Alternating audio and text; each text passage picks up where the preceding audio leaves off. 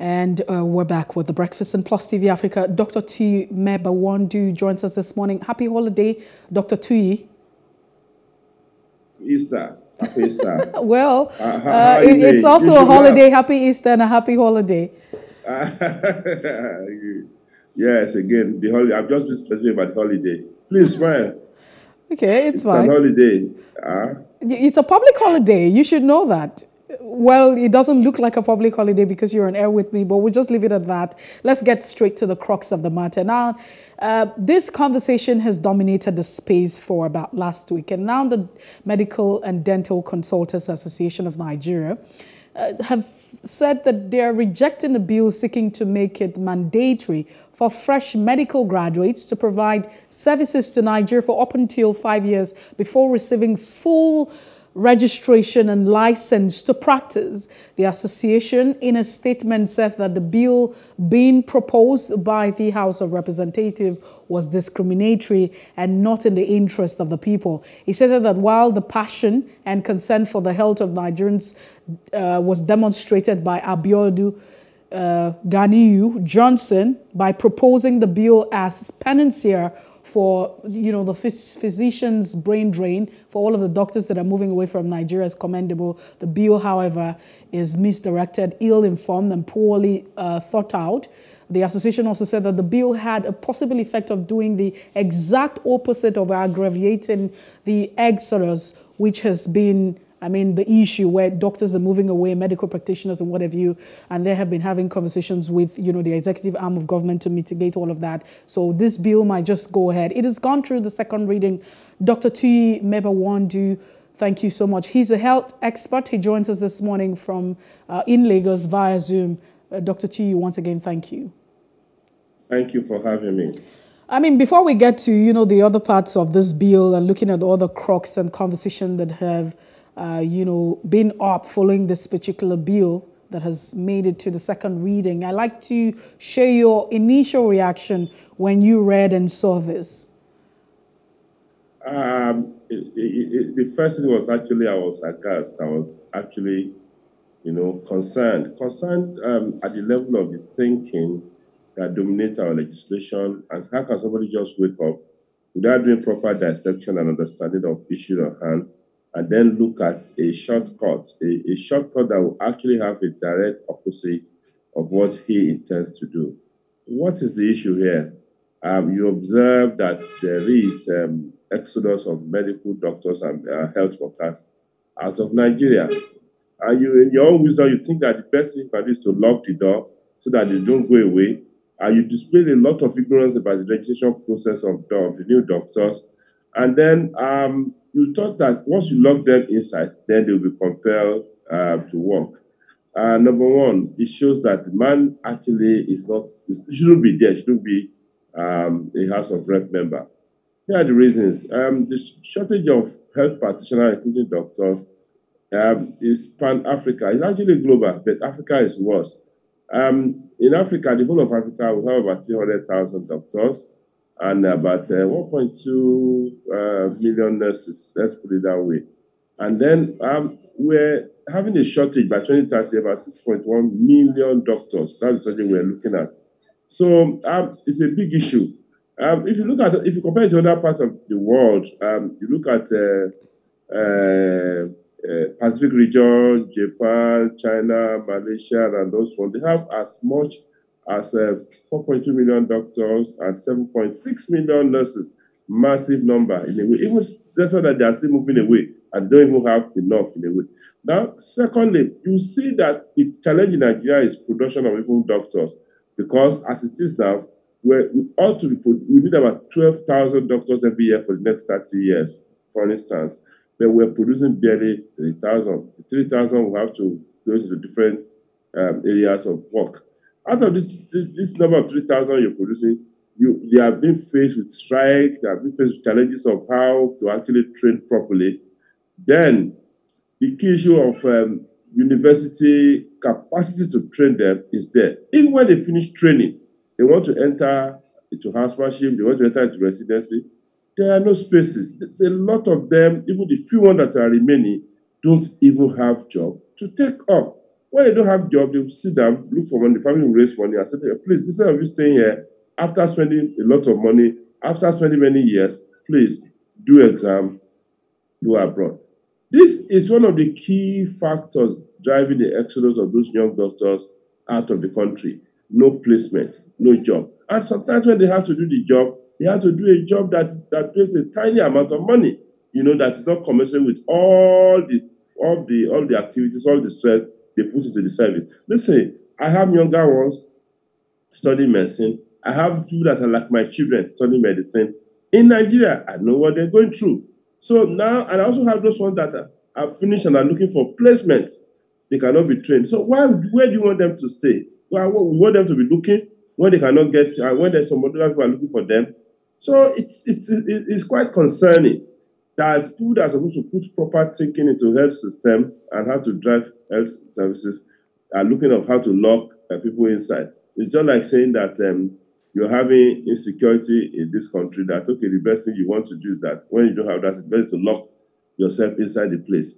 You and then they should they shouldn't forget that talent seeks where it is appreciated.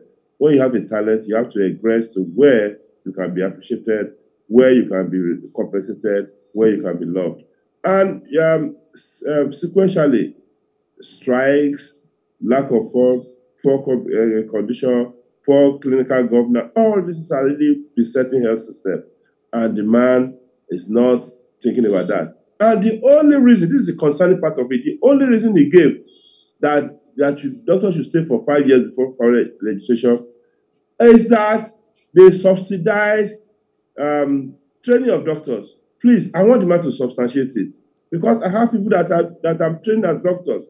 I want to see where the subsidy came from. Secondly, I guess lawyers were subsidized, politicians were subsidized, we're subsidizing politicians. A lot of all the people that engineers are subsidized, eh, accountants are subsidized because they train the same. If they train the same university, that means it's not apply to them. Then how are you collecting that subsidy money from them? Doctor will do one year house for compulsory.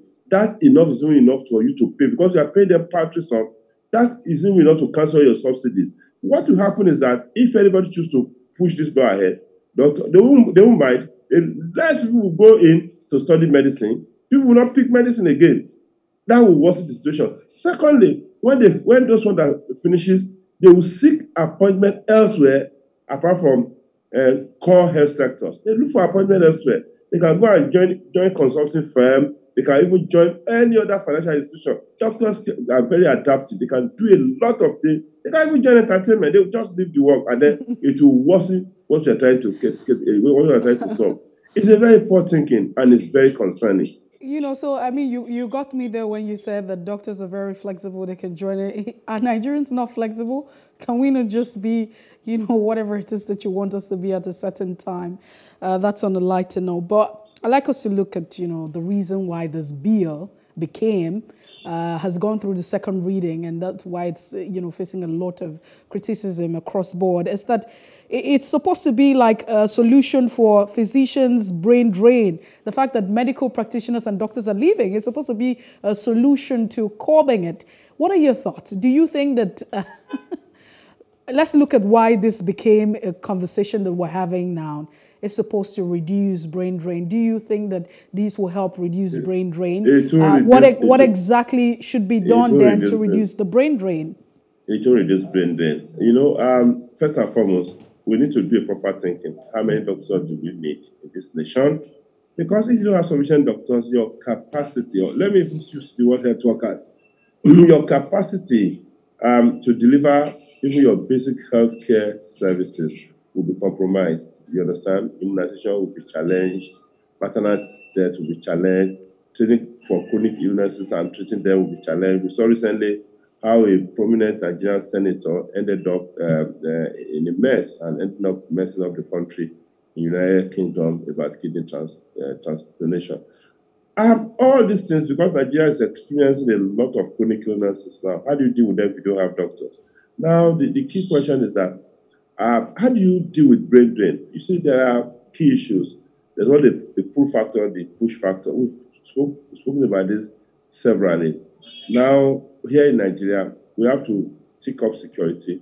The basic thing is that you have to increase doctors' production. You know, how do you increase doctors' production, encourage people to pick science, you know, incentivize the study of science, incentivize the training um, of doctors, you know, um, in the sense that um, can you give scholarship? Can you give uh, grants? Can you even use some institutional direction to say, okay, um, PTF or whatever you are, structure funds to people that are studying health care services, uh, healthcare, you know, courses in so, so, so, so, so number university. Can you do that? Can you support the training of the, of the doctor, equip the hospitals, uh, hire more consultants, remunerate them appropriately, you know, and then um, expose them to that. Because before, uh, the doctor um, at the third year of postgraduate training, second year of postgraduate actually goes abroad um, to for exposure, for further exposure. But all this is were cancelled during Buhari Idiagbon regime. You just woke up one day and cancelled all those things, you know, and that and, and, that of course will impact, you know, on the incentive for people to, to, to practice medicine. What you should also be doing is that create an environment in this nation that will ensure that there will be reverse brain drain, or we call brain gain. Uh, can people come and set up uh, centers here and run health facilities uh, in an environment that's, that, that, that, that, that, that is bereft of kidnapping, lack of infrastructure, um, extortion, you know, government um, uh, neglect. Because what even people that are actually um, getting involved in healthcare in this country, you see a lot of um, negative reports from government, from institutions, from monitoring, from registry, a lot of problems, and they have to say, listen, enough and no further, and have to exit. So we need that kind of thing. Encourage return, uh, increase training, uh, incentivize, you know, um, uh, health workers training, equip the center, equip the hospital, and right. ensure that you have good clinical Do- governance Tui, and remuneration. Well, as we coast this conversation down, I'd like to ask you if you think that this bill would see the light of day. It's still through the second reading. That's a lot of progress. Do you think? you and I have to laugh at this at this point. But again, I ask you: Do you see this?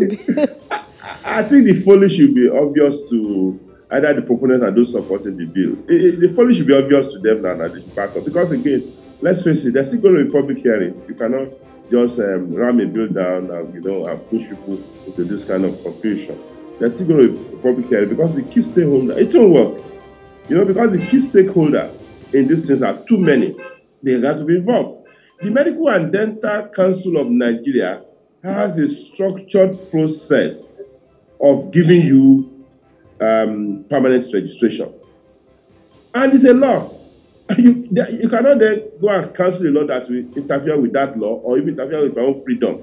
Okay? I'm not I've not made a doctor to be punished by the state. That's that's the punishment.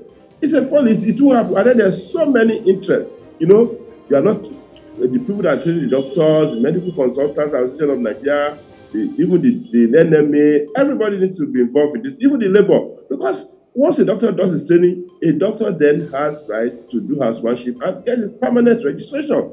That is the stream. How do you want to bind them? If you bind them, they will go and get another worker. Then are always going to do the work in the hospital? They'll go and work elsewhere. They have talents, you know, they work elsewhere. You know, at the end of the day, I, I can imagine, you know, a lot of doctors now joining entertainment, a lot of doctors joining consultancy, which a lot of them are already doing, okay? Or even getting involved in, you know, in, in some doing crash courses and other courses and join those courses. They will ah. perform well. It's not a big deal. Okay? Okay. So then, how do you not get that? You have trained somebody for seven years. Somebody has been trained for seven years. You want to go and hold him down for five years. And in that, indeed, most of them spend up to 10 years. Well, well. And then you want to add five years to them, five years. For what now? What is that expectancy in Nigeria? So I mean, it's, it's, a, it's a criminal thing, honestly. It's, uh, it's so disgraceful. Dr. Tuyi, I, I, I, can feel, I can feel your like pulse this morning. I can feel your pulse. I can feel your spirit. But it can only get better. Thank you so much for making our time to be with us on, uh, you know, Easter Monday, a public holiday as this. Uh, we do appreciate you. Yes. Have a fantastic day. Well, that's the size of our conversation. We've been speaking with an expert, a health expert right here in Lagos, Dr. Tuyi Mebawondu. He shared his thoughts as to the bill and what he thinks he thinks is uh, very criminal of the government to, you know, think about it, or whoever is, you know, proposing this bill is not a solution to what you're thinking about. There are other issues that should be paid attention to, and we'll, we'll leave it at this. I'm, I'm hoping that it, this conversation won't end until we see the end of it.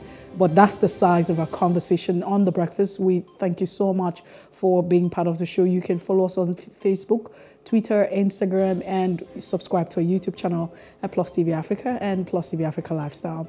We'll join the newsroom at 9 o'clock for the news brief. In the meantime, have a fantastic holiday and a happy Easter Monday. My name is Messi Bopo.